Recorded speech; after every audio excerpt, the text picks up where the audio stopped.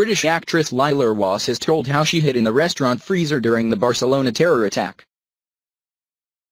Ms. Rouass, who has starred in Spooks, Holby City and Footballers' Wives as well as competing on Strictly Come Dancing, wrote on Twitter that she had been caught up in the atrocity that left more than a dozen people dead.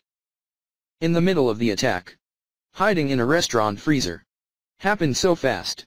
Praying for the safety of everyone here, she tweeted. Ms. Rouass, who is engaged to snooker star Ronnie O'Sullivan, then told of hearing gunshots. Gunshots just heard. Armed police running down the street looking for someone, she wrote.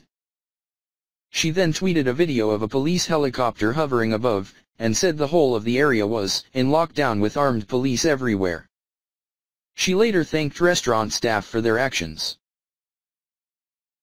Thank you to the staff at the restaurant for staying calm and keeping us safe. I love you Barcelona, she wrote. 13 people were killed and 80 injured when a van plowed into pedestrians on Thursday afternoon.